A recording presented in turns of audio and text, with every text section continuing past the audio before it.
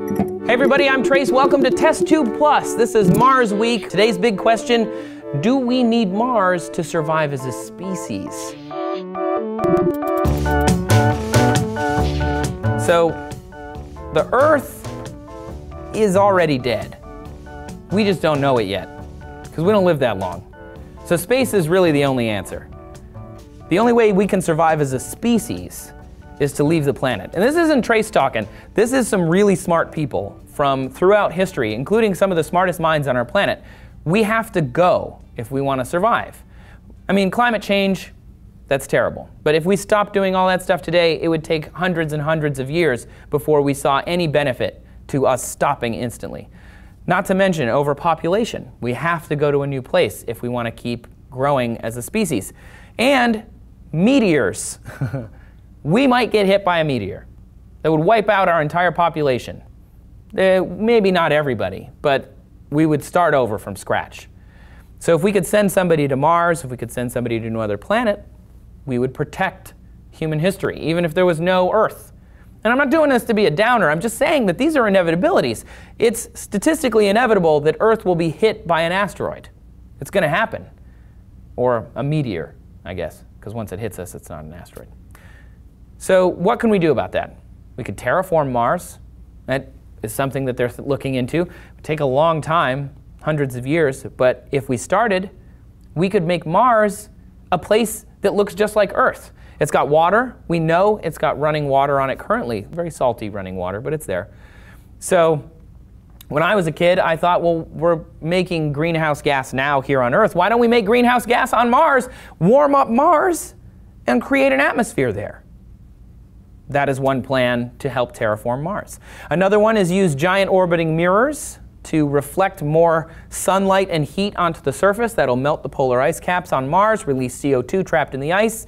That will thicken the atmosphere, it'll hold more heat, and then they'll be able to get some O2 and nitrogen working in there. I have no idea how they're going to do that plan because those mirrors have to be the size of Lake Michigan. But you know what? Optimism. I like it.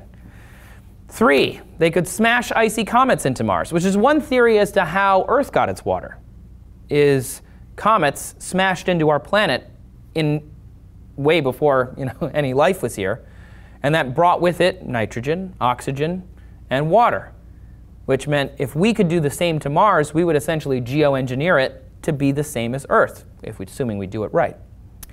So since Earth is dead, eventually, on a geologic or galactic timescale, Earth won't be here forever, so Mars is our closest lifeboat.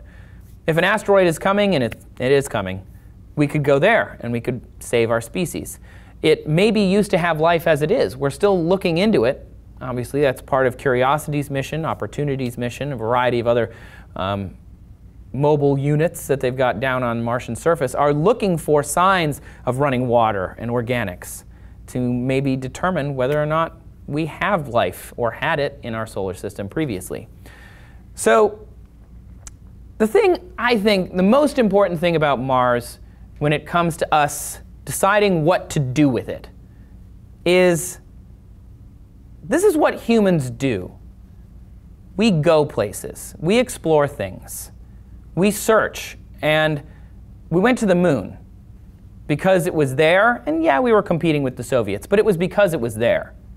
Just like we left the sight of land and headed for the horizon, just like we left the family when we went out into the world, just like we left our tribes, just like we left our trees as ancient primates, just like we leave our wombs, gotta go.